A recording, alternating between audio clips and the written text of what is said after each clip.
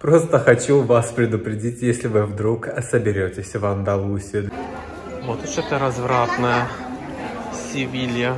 Смотрите.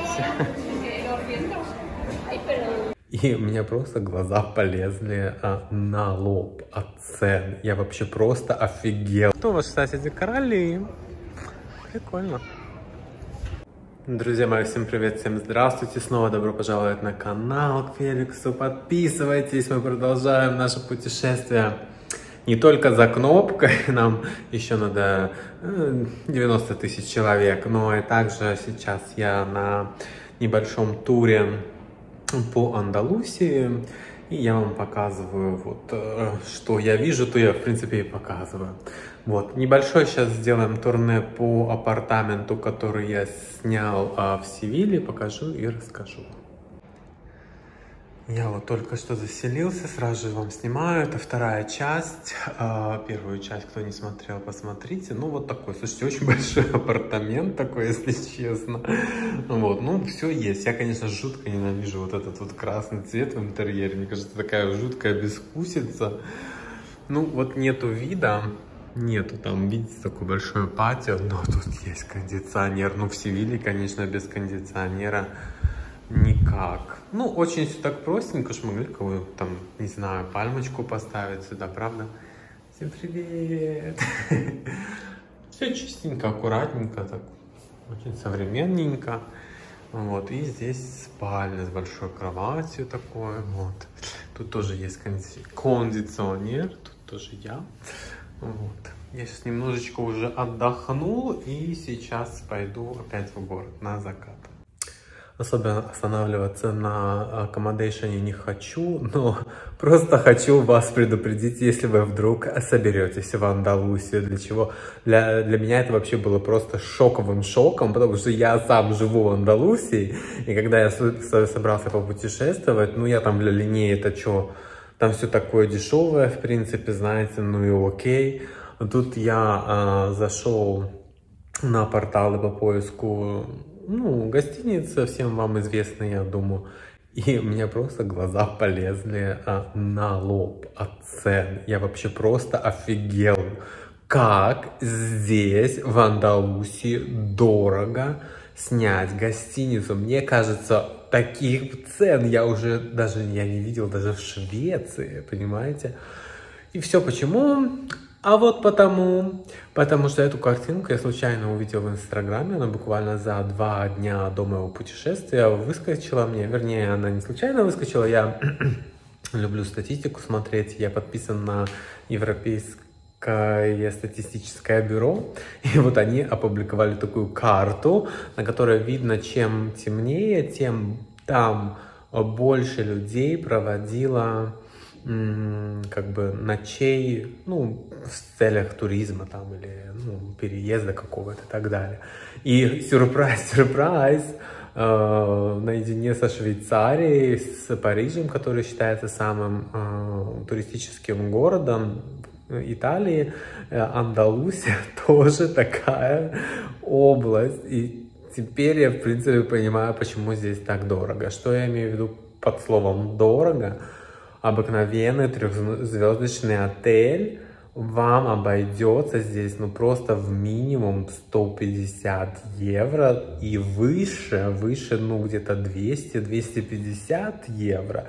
Если вы берете что-то там уже по luxury, лухури, да, ну там уже соответствующие цены, но они в принципе везде, наверное, одинаковые. Но именно просто меня поразили цены на обыкновенные, вообще просто на обыкновенные отели. Я посмотрел, это был просто какой-то шок. И этот департамент, а, как он мне достался, я зашел на букинг, э, я не бронировал ничего заранее, потому что я был просто в шоке, я реально был в шоке от цен. Ну, я уже как бы приготовился платить, ну ладно, 150 евро заплачу за одну ночь в Севиле, окей. А, и зашел за день до поездки, и вот этот вот апартамент, он был как бы типа на скидке, вообще он стоил 100 э, евро за день, э, ну, за ночь, да, на не выходные. На выходные он дороже стоит, естественно. Но так как у меня букинг там какой-то уровень уже и какая-то там скидка, мне было 31 евро скидка, что меня очень порадовало. Поэтому вот этот вот апартамент мне обошелся 69 евро. Ну, это, это самое, по-моему, это вообще просто самое дешевое.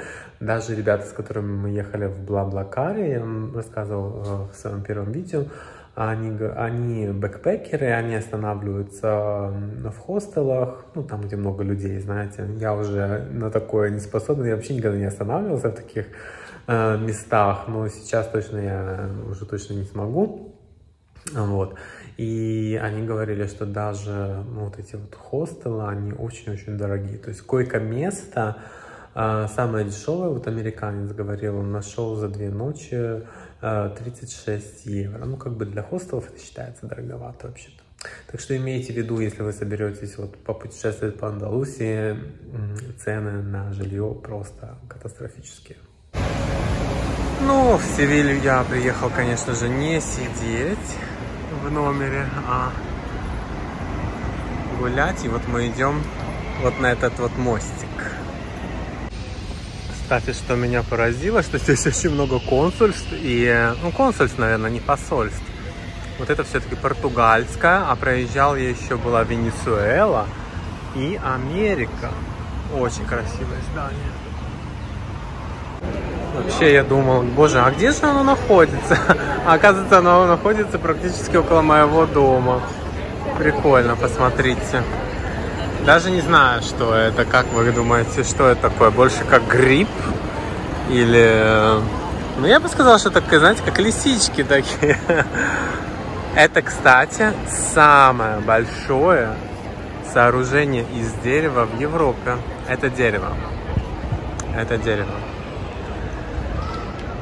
Но построено оно было, кстати, немецким архитектором.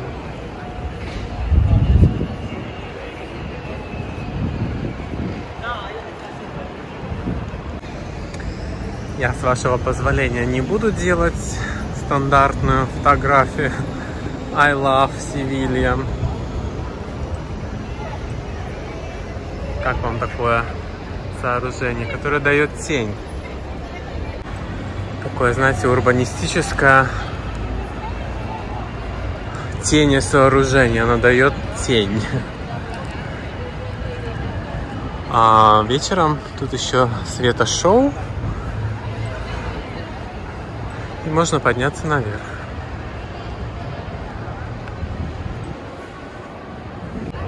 Вы знаете, что я с вами делюсь всегда все по-честному. Вот мне это сооружение, кстати, не очень понравилось, но мне очень понравилось, что вокруг него какие вот милые какие-то квартирки, не знаю даже как. Люди сидят, выпивают. Представляете, как тут шумно по вечерам. Ну, к этому надо быть готовым. Вот здесь мне понравилось. Как вам лисичка? Севиле есть университет, много студентов. Вообще город очень живой, очень живой. И весь старый город это такие маленькие узкие улочки. Но здесь очень прохладно. Я, кстати, ожидал, что от Севильи будет намного жарче, но, если честно, довольно-таки терпимо. Довольно-таки окей. А, конечно, стоит отметить, что сейчас 30 э, градусов, а так э, этим летом у них здесь было... Когда только я приехал э, в Испанию, передавали, что у них здесь было 48 градусов днем. 48 градусов.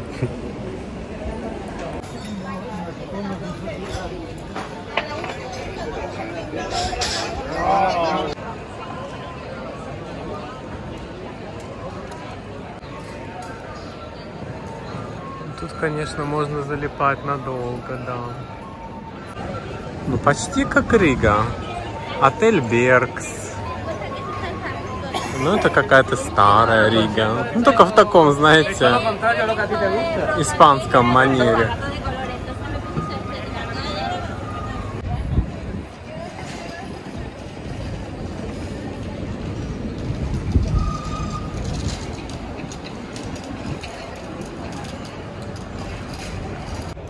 Меня, конечно, можете хоть убить, но это просто, ну это реально просто латвийский сейм. К сожалению, выбранный не очень удачно в этот раз, но, но здесь, конечно, такая более детальная работа. Представляете, как раньше? Я вот всегда поражаюсь, как раньше строили. Но мне очень понравилось вот это здание. Вау. У Банка Испании однозначно очень хорошие садовники. Посмотрите, как четкие линии какие. Мне очень понравилось это здание. Прям такой дом на углу. Такой красивый. Ну и тут тоже красиво.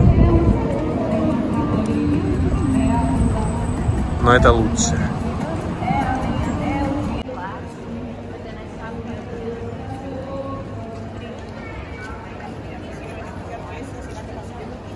Уже есть такие настоящие испанские сеньоры. Вот такие вот. Таких я представляю вот испанов.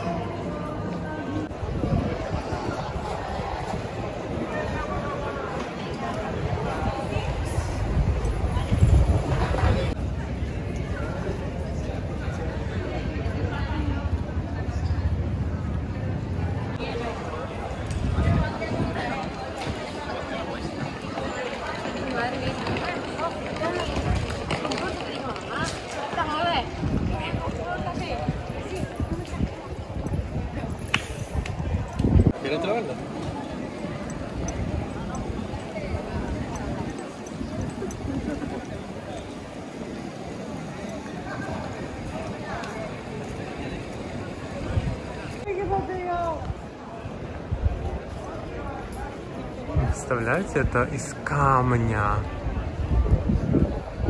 Боже, сколько тут работы.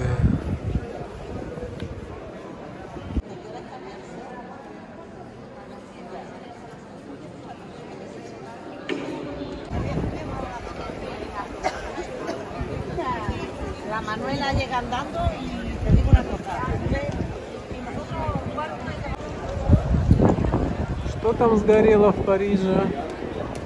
Все в Севилью. Нотр-Дам нам не нужен больше. Какой красивый цвет у лошадки. Капучино прямо. И тут какой красивый.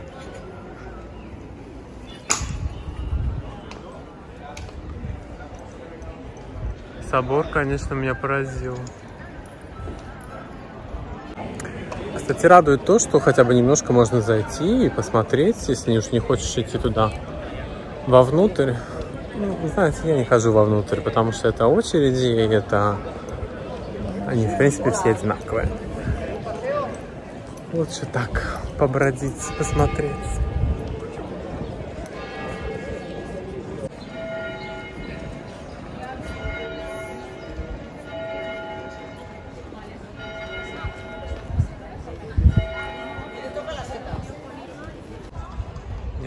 Вам, его просто не обойти. Просто не обойти, он огромный. Нескончаемый. Ну, а это, друзья, еще одна достопримечательность. Королевский Алказар. Ну, то есть замок бывший, я так понимаю. Тут еще как в средневековье, кстати, попахивает очень из-за из лошадок. Честно вам говорю. Ну, кому нравятся такие э, достопримечательности, я думаю, что здесь будет интересно. Я не большой любитель всех этих вот э, старых замков. Мне больше нравится смотреть просто на жизнь города. Кстати, вот этот замок, этот Алказар, да, к стене просто обыкновенный дом уже пристроен. Все такие соседи. Кто ваши соседи? Короли. Прикольно. Мне кажется, это может быть самый красивый банкомат. Посмотрите, банкомат выложен какой-то плиточкой такой. М -м. Кстати, сюда можно зайти. Замок-то. Смотрите, что в замке творится. Ну, такой себе замок. Могли бы уже побогаче сделать.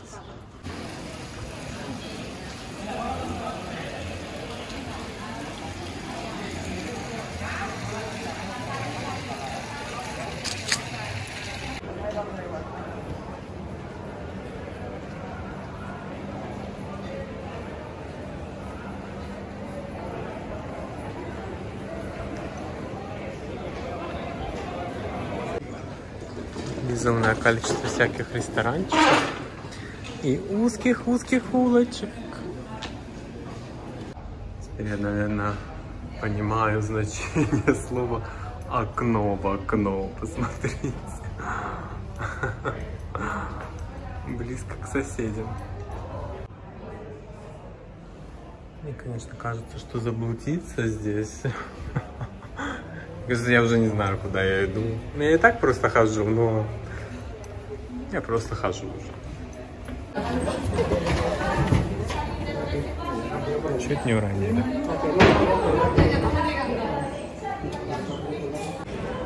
Мне кажется, я их сглазил. я только подумал, интересно, ну, а если тебе сюда надо доставить, например, знаете, там, двухкамерный холодильник или какой-нибудь шкаф, ну, увы. Предупреждаю честно, что найти свободный столик это еще та задача здесь.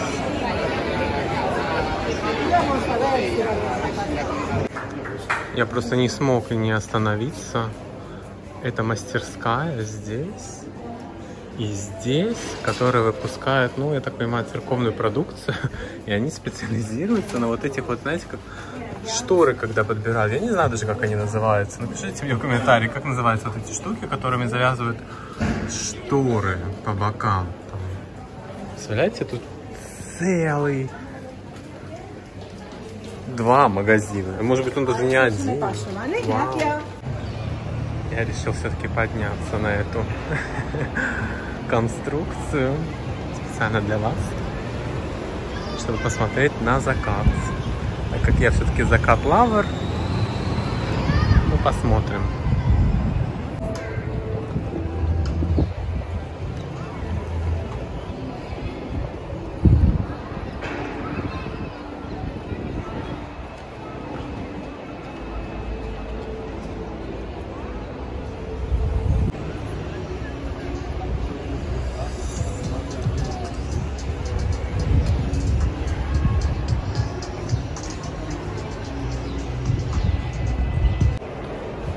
Я однозначно всем очень рекомендую сюда подняться.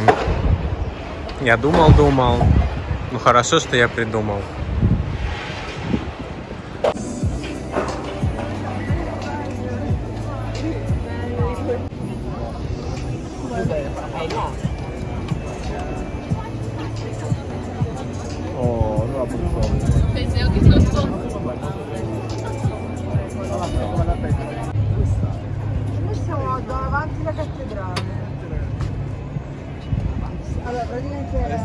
spalle, vista da qui alle spalle? Siamo alla fine della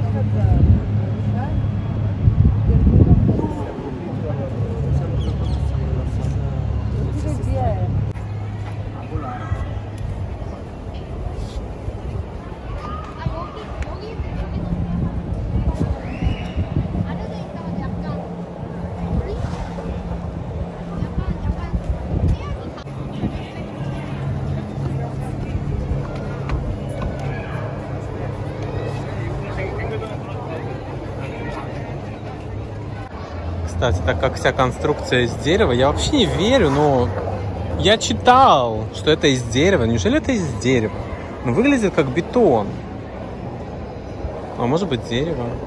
Но видите, противопожарные штучки стоят. Ну, конечно, если тут 48 градусов жары.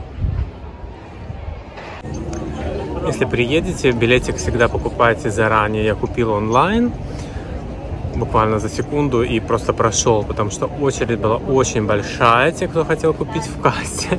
Потом надо еще было отстоять очередь, чтобы его, ну, типа как показать электронно. Вот, но мне это очень понравилось, кстати. Для всех жителей Севили а, это бесплатно, а для туристов э, на интернет-сайте было написано, что э, 5 евро, но когда я открыл, то ну, для обыкновенного человека 8. И потом там было что-то еще написано, а, я подумал, что это может быть там согласиться какими-то правилами, я кликнул, оказывается, я кликнул на то, что, ну, типа, если я им не воспользуюсь, то я могу его вернуть, потому что так он не возвращается, этот билет, ну и он стал 9, ну, короче, 10 евро. А 10 евро будет, если вы купите его а, в кассе. А на вечернее шоу э, билет уже 15 либо 20 евро. Ну, здесь такое как бы световое шоу по этим вот пластинкам разные, разные цвета показывают. Ну, мне кажется, что красивее, чем закат, ничего нет.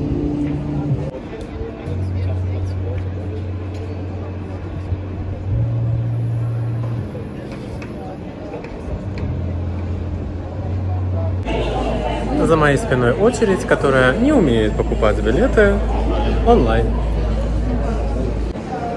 Мне эта штука очень понравилась. Если вы будете, обязательно придите сюда. Ну а если вы не можете, то, пожалуйста, подписывайтесь и, конечно же, поделитесь с теми, кто сейчас не может путешествовать. Я снимаю это и для вас тоже, чтобы вы хотя бы, хотя бы на YouTube со мной путешествовали. Опустился закат. Я иду искать себе какое-нибудь место покушать.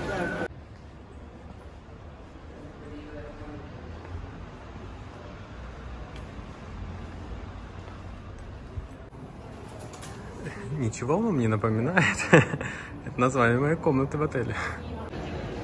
Честно, уже мотаюсь голодный вокруг этого собора. Так хочется поесть. Но, знаете, все занято. Я хочу паэлью. И в тех ресторанах, где мне очень понравилось, ее нету почему-то. Ну, что, сейчас будем искать. Друзья мои, паэлья приготовлена. У меня свидание с абажуром сегодня. Рядом немцы обсуждают Путина. Такое вот симпатичненькое место у меня здесь. Все прекрасно. Паэлья мне, честно, не очень понравилась. Такой рис разваристый, каша. Ну, ничего. Я вообще очень плохой выборщик ресторанов, если честно, поэтому... Вы вообще... Вы вообще любите путешествовать одни? Я обожаю. Обожаю. Тебя никто не дергает. Вот что ты хочешь, ты, ты и делаешь. Ну, либо с очень близкими друзьями я путешествую. Ну, прям очень с близкими. А если путешествовать, ну, если получается путешествовать с кем-то, кого, я, может быть, я там не очень хорошо знаю, я всегда молчу. Я никогда вообще не встреваю. Вот мы идем, и мы идем. Я найду, что посмотреть. Но вот это вот э, щука, рак, э, что там еще, лебедь, это вообще не для меня. Спасибо вам большое за сегодня. Чин-чин, увидимся завтра.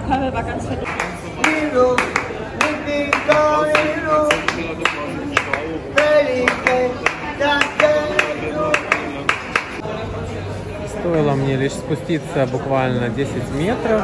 Здесь просто огромный выбор паэльи. Приготавливают ее прямо для тебя в этих э, специальных таких сковородках для паэльи. Потому что моя паэлья была, знаете, такое ощущение, что на три дня уже постояла. И ее не принесли такому несчастному мигрантишке.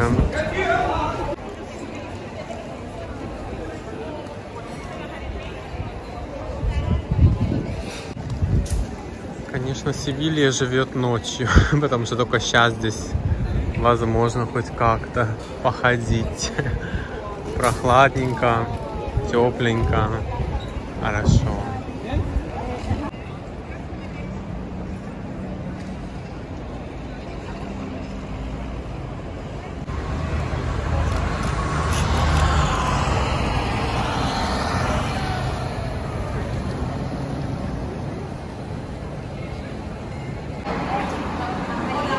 Да.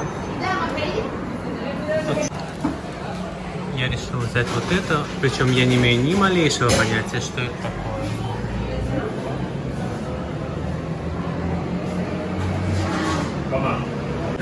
Я говорю это серьезно, это самое вкусное мороженое, которое я когда-нибудь вообще ел в своей жизни. И вот это вот, то, что я вам показывал, это вообще какой-то как омлет, я не знаю, это так вкусно, боже, я ем это в 11 часов вечера. Мы happy. Просто сегодня четверг, бар в 11 вечера.